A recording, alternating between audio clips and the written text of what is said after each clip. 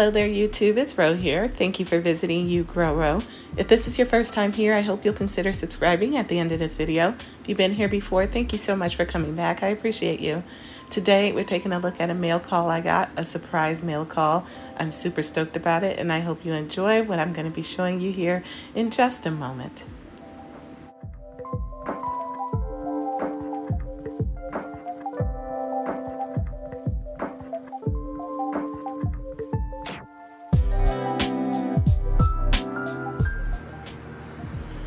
So this wonderful package came from one of my fantastic subscribers. Her name is Susan and she sent this to me all the way from Indiana, I believe. I did not know it was coming. Well, I shouldn't say that. A few days ago, I posted something on my community page, I want to say, on my community feed.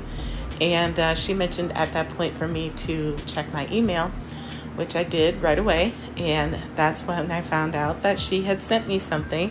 She gave me the tracking number. I kept track of it. And over the course of the next two days, I watched as it made its way to my mailbox at my office. So then today, um, or, or, Saturday, Saturday, I went and I picked it up from my office. It was delivered in the evening, which was shocking because she had expected it to arrive on Friday, and that's not when it came. It came on Saturday evening. Either way, um, my office is not very far from my home, so I went and I picked this bad boy up, and let's take a look at what she sent me. So, according to the email that she sent me, I have received one plumeria cutting that is already rooted and then I received two rooted cuttings from Angel Trumpet, and then another four, which I'm holding in my hand right now, cuttings um, that are not rooted for the Angel Trumpet as well. She included those for me to be able to try out rooting on my own. Didn't she just think of everything? How wonderful is this lady?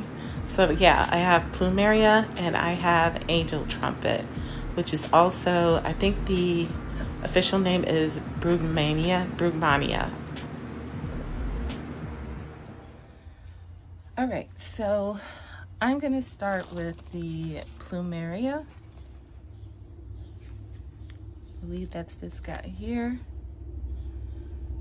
She says this is a tropical succulent and it needs to be treated as such. So she also says this is very top heavy, so I needed to um, find a heavy, heavy uh, pot to put it in. I found one. I don't know if it's big enough, but um, I wasn't able to prepare for this because I didn't know it was coming. It was a surprise. It was a surprise. So um, we're just going to have to use what I got for now. So I got this beautiful piece. My mom got me this um, back when I bought the house. And whatever was in it died a long time ago. so now I have something to put this in. Now, Susan says that this likes well-draining soil. And she says that um, Miracle-Gro is too dense of course, that's what I have. So I'm going to add vermiculite, oh, I mean uh, perlite to help with how dense the micro, uh, the Miracle-Gro is.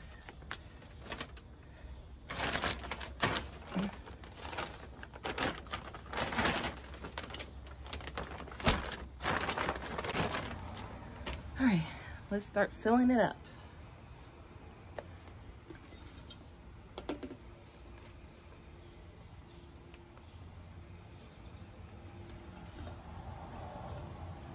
Right. So I've got it about halfway full with the Miracle-Gro. Now I'm just gonna top it off with the perlite and mix it all up.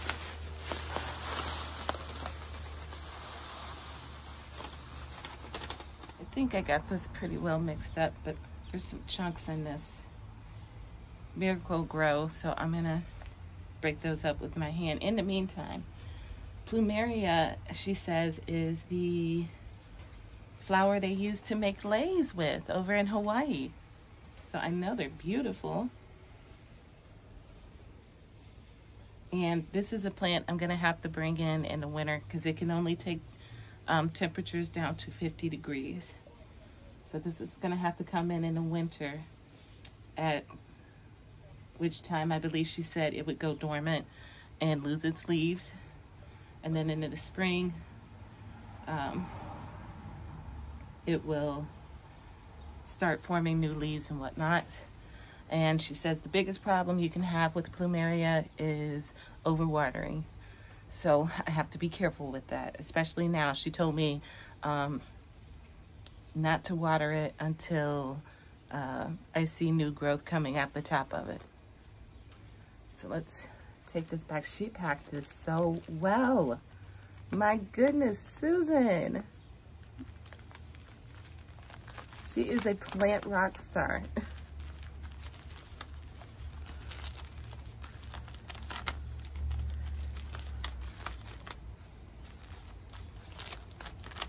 I'm feeling a, a decent amount of pressure here.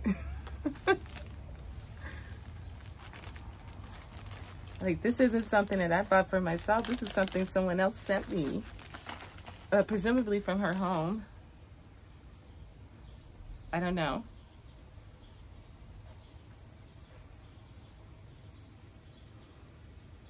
Oh, great. She's already rooted it. Nice. Yeah, even in the medium that she sent it in, that is a lot of perlite or vermiculite. So I, I didn't go overboard. I'm pretty confident in what I've done here.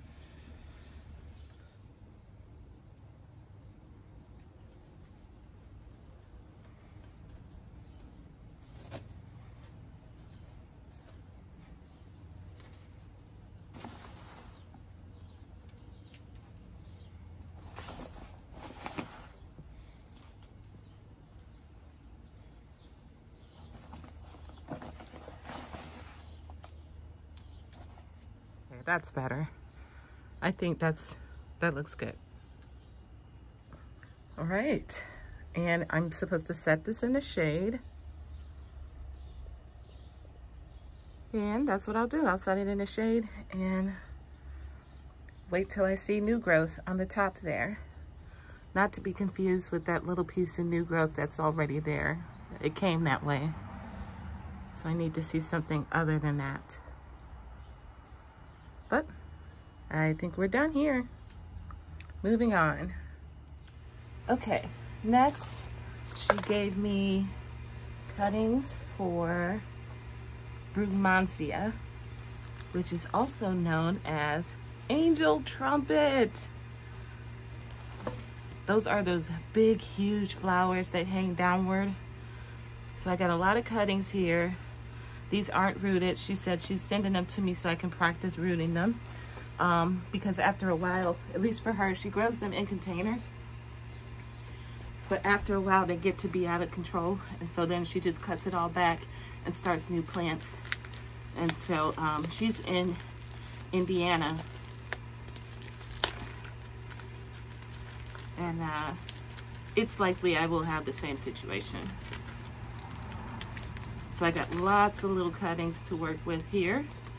Um, she says you can, she has rooted them in water before, but um, they're prone to rotting. So I'm not even gonna give that a try.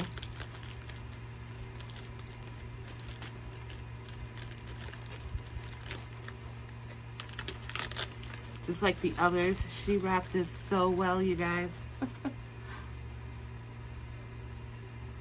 Oh, now see, this one's rooted already. Oh, I see. Okay, so she gave me two cuttings that are already rooted. And then I have these four tiny rootings to, um, these four cuttings to practice rooting with. Fabulous. Susan, you thought of everything, you clever lady. Oh my, look at these. That's beautiful.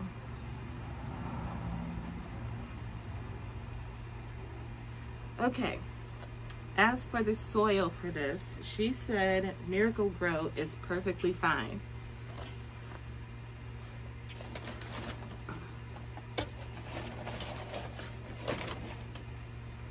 The Miracle-Gro fertilizer, maybe not so much, but it's doable. So I can still work with this. Right now, just gonna pot up these two that she gave me that are already rooted. Again, um, I don't have pots. I, I wasn't expecting. So we'll see how they do in these two pots I got here. Um, I think I have some pots in the garage, but Tim has the clicker and I don't want to wait. I wanted to get these into soil as soon as possible. I picked these up yesterday because um, she sent them to my office. So I picked them up yesterday on Saturday and um, I didn't get to do anything with them. So they've already been in shipping for several days and then I let them sit again overnight. So I don't want to wait for Tim to get, come home with the clicker and me be able to go look around in the garage just yet. It's not going to hurt anything. I mean, I say that, but this is fine for now, I'm sure. So let me just get this second one potted up. And another thing she mentioned about this, these plumeria, is that they don't mind wet feet. She's like, they like warm weather and moist air. She, she said to think Florida. So um, when I bring it in in the winter, and again, this, these are new other plants that I'm gonna have to bring in in the winter. It gets too cold here it will be much like the um, the tropical succulent there, the plumeria, to where it will defoliate during its dormant season and I'm not to water it a whole bunch.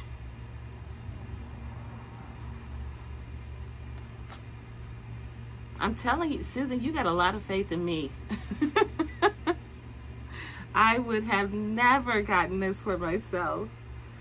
Um, yeah, I appreciate you.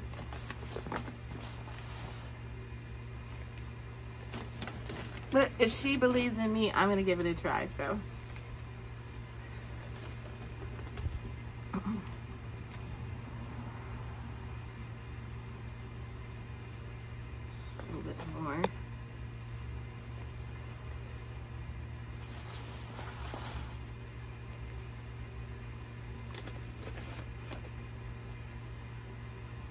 you know, it, this might not be too far off. I kept those plants from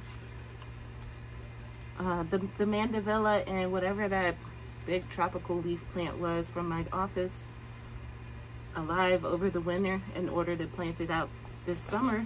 So, you know, this might not be a stretch for me. It might not. I think, you know, it's just like I said, I'm feeling a little bit of pressure because she was so kind enough to send this to me. I would hate, hate, hate, hate to kill these somehow. And I already broke off one of the leaves. Okay.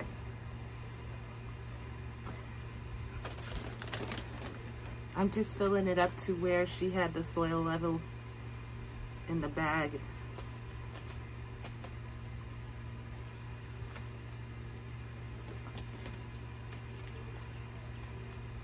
And then I'm gonna put these in the shade. As, did she tell me whether? I think she did say put these in the shade for a while. Again, until I see some new growth.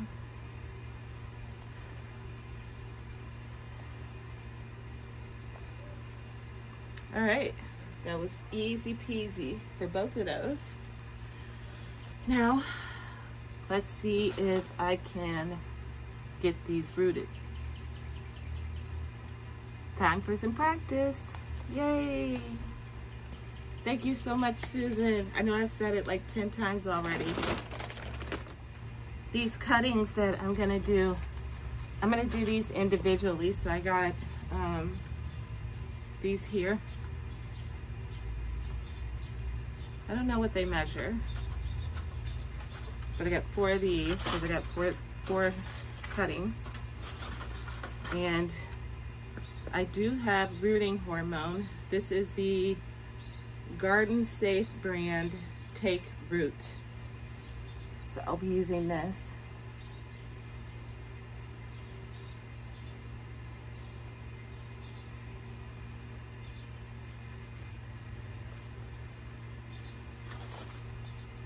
All right, and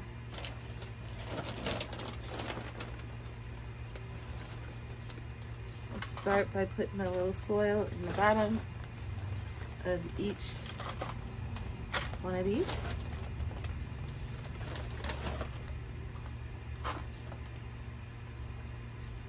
It is Sunday, July 28th, 10.30 a.m. and it's gotta be 80 degrees out here already. It is balmy. Okay. Put some soil in the bottom there. And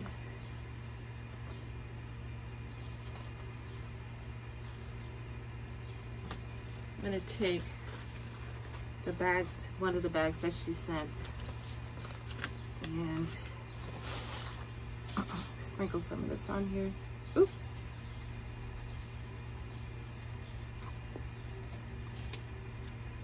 I just don't want to uh, stick those root these cuttings right into my rooting powder in the in the jar. And then I have my little mister.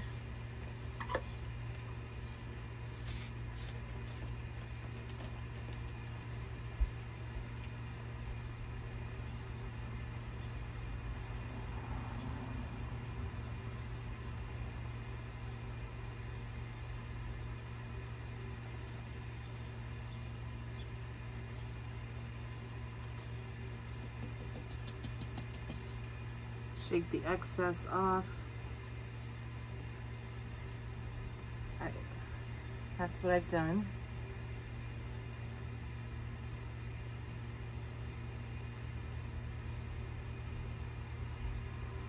And then I'm just gonna plant it.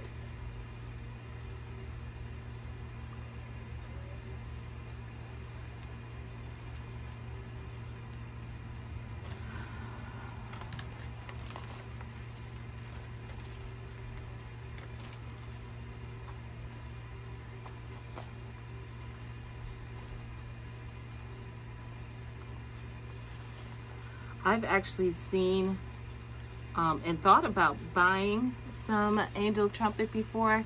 I get mail from Breck's. They do like bulbs and stuff like that. And they always have the most beautiful um, angel trumpet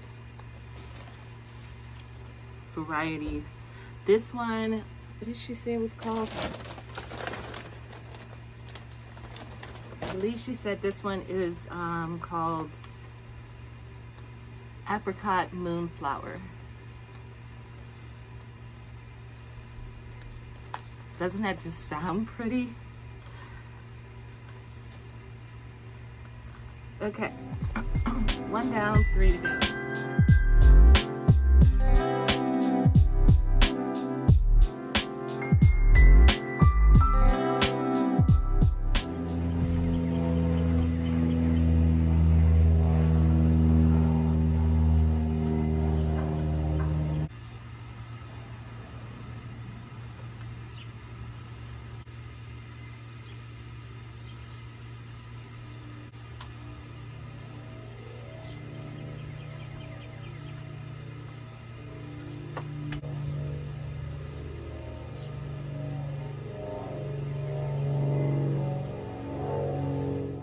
All right, friends, that does it. Everything is all potted up. Here are my five little ones that I'm going to try and root on my own. There's my two larger, the plumeria and the uh, angel trumpets. The two angel trumpets there uh, in their pots. Hopefully, those will be okay. And that does it for today. I hope you guys enjoyed the video. If you did, don't forget to hit the like button, subscribe, and share with your friends. And I will see you guys on another day and another video. Until then, happy growing, my friends.